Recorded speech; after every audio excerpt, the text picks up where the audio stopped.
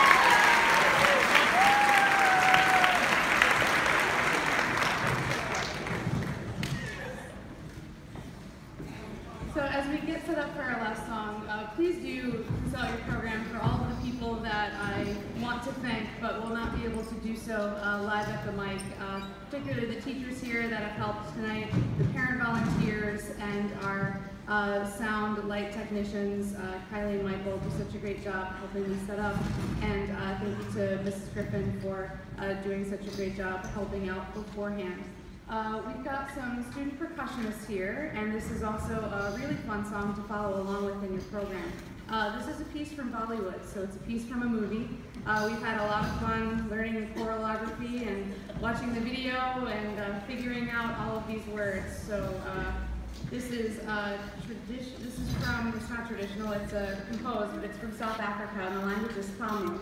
Uh, so um, enjoy this, and uh, then I hope to see you at the final concert. I plan to see you at the final concert, uh, except I'll be sitting down there while the students sing and dance on stage. Uh, please do remember to turn in your sound waves warm if you'd like a recording of tonight's concert, and uh, enjoy this last piece.